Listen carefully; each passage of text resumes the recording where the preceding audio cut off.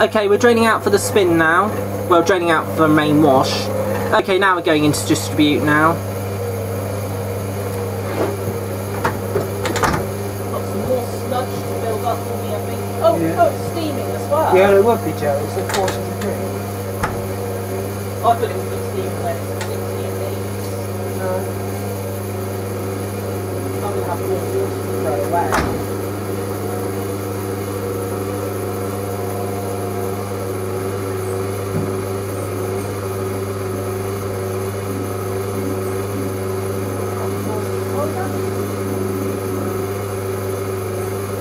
That's what the best of.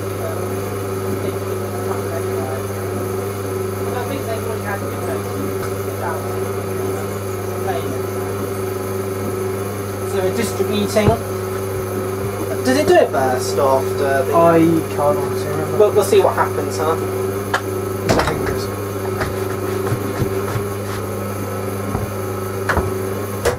Ooh, ooh. Got to switch it off.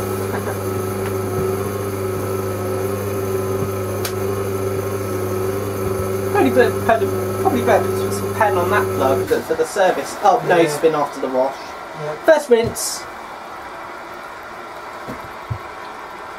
That's on minimum, isn't it, the pressure? Uh, it's relatively high, but it's low on that half of the shed. It's because it's coming from there. Well, it wants to go around that way, but it's got to be forced the other way. So Because the um, it's plugged in where it goes to this side, isn't it? yeah. Oh, where does it actually plug in, to be honest? Is yeah it? no, have you not noticed it? No, it goes down there. Yeah.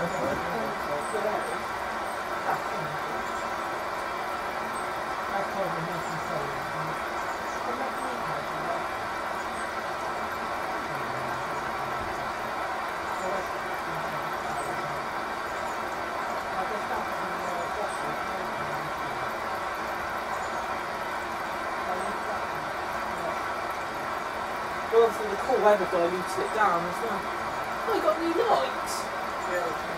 Oh, that's nice. Well, that won't actuate until night time, won't it? I guess that's taken out from the... Oh, they've taken out the lights on the little shed up there as well. Yeah, we've changed them. All the lights, isn't it? Yeah. Is it recording? Yeah, it's going still. Yeah. It's going to take a while to film, so I might as well pause recording.